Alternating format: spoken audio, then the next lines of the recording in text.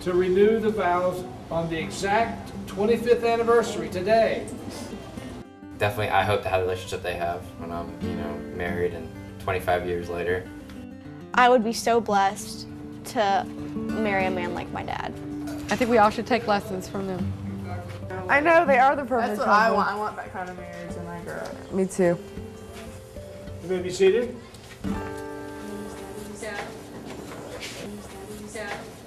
I was at Debbie and Glenn's first wedding. Well, and also when I got married to Glenn, it was a whole different story. We were supposed to have the whole big wedding. Me, mom, grandma Catherine like called it off like two days before, and they had to elope and have like this tiny like little tiny wedding. but we had like five people there, so we didn't have the photographer there. So that's why it's sort of hard to find wedding pictures, is because of that. There, there may be maybe ten, but there I am. Debbie and Glenn, I just couldn't believe we're getting married so young, and I just thought that it would never work. Grant you fulfillment and, and will establish your home in peace. Glenn, will thou continue to keep your covenant with Debbie? A few people know this, like fam- some family members know this, but I don't think a lot of their friends know this. But my dad proposed to my mom when she was 14 years old. And I'm pretty, this sounds terrible. I think my dad's like four years older than her. So he was 18 and she was 14 years old. And he'd only known her for two weeks. Yeah, no, he started asking me to marry him when I was very, very young, and it scared me. It's like, what, what, what? and he asked her to, to marry him and apparently um, he asked her and like she physically ran from him like she ran away from him i think that's hysterical so he knew from from the beginning, I guess, and um, I was just too young, I guess, to know. But I guess it worked out for him. She came back, you know, so good job, Dad. How come? Because I wanted to spend the rest of my life with her. How did you know at that young age? How did you know? Uh, God told me. It was in it was in the stars. I don't know how to explain it. Glenn and I had been dating about a year. I think I was about 15 and a half. I was visiting him in Charleston. He had moved to Charleston, but we were still a couple. Okay, let's see here. This is my mom, August 1948. This is Lisa and I when we were only three months old. We were born in Tokyo, Japan. That's where my daddy was stationed. What I'd like to do to close this ceremony is to have the family circle just join me in prayer. the minister who married us, Dr. Renner.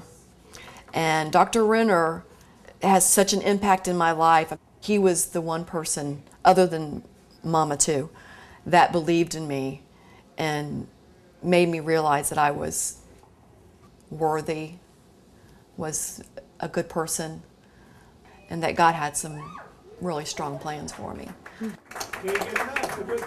But I think what God's his thing was was my two children and us being decent parents. Well, they're awesome. They've always been there for me. And, uh, my mom's always been there emotionally for me whenever I needed her. My dad's always kind of like my uh, best friend, I guess you could say.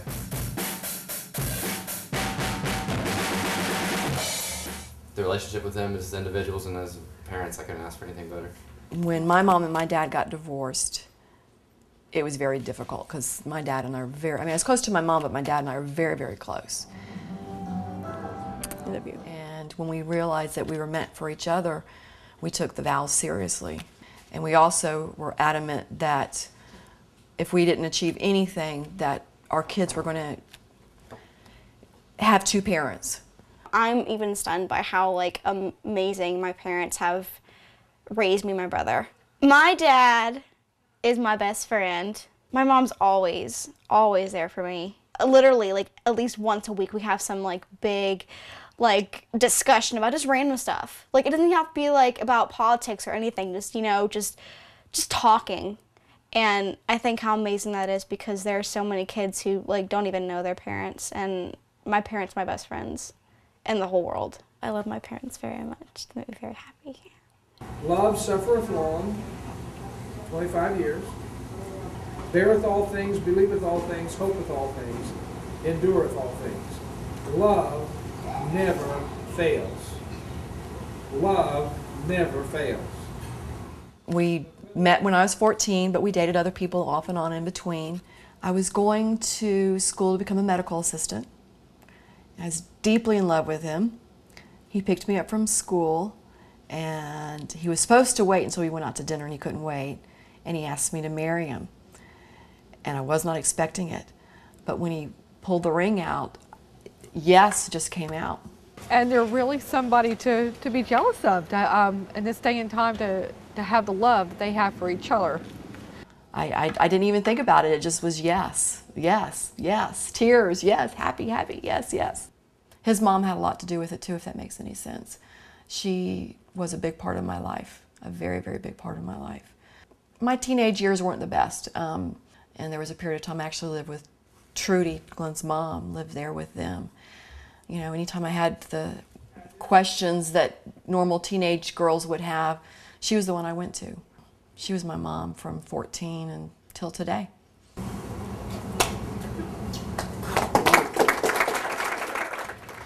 I mean, it's like, you know, it's what every woman's dream of romance. And it's real.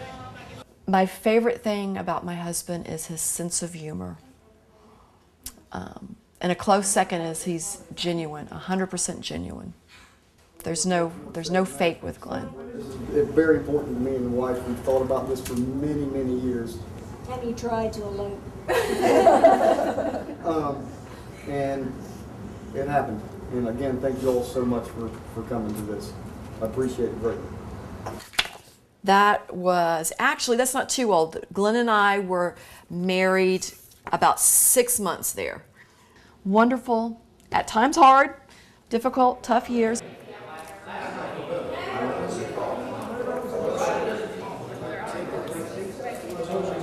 They have gone through a, a bunch of rocky roads and hard times, but I think that those hard times and rocky roads are what has made their, their marriage so strong throughout the years.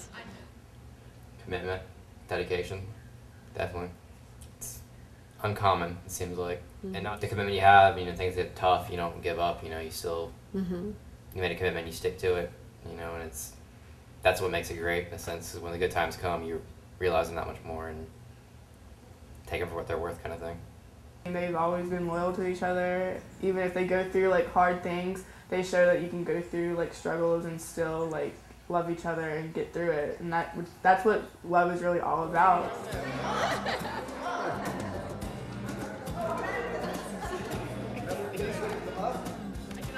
Lots of patience, lots of lots of love, and never giving up. You just don't throw in the towel the first time that, that things get tough. In fact, you find out that you actually get your marriage is stronger and the relationship becomes better and you fall even more in love with that person going through those hard times. I'm not used to this. I think true perfection is a person that can wake up in the morning and look in the mirror and no matter what, be content with who they are. And I think that my parents, despite all the problems that have happened in their lives, are so content and they're so happy. I think the fact that they can wake up in the morning and be happy and that's the most beautiful thing I think anyone could have.